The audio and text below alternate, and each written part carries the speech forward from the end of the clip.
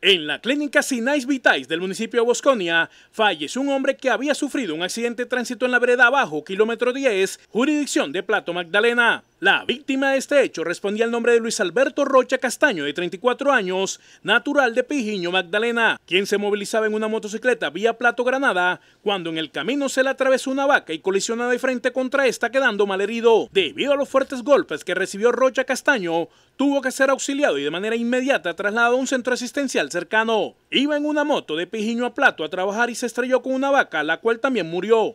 Luis quedó gravemente herido y lo auxiliaron unas personas cerca de una finca, dijo Irina Rocha, hermana de Luis Alberto. El afectado fue remitido hacia la clínica Sinais Vitais del municipio de Bosconia, donde finalmente pereció. A los minutos llegaron las patrullas del cuadrante para verificar dicha información y tomar datos de lo sucedido.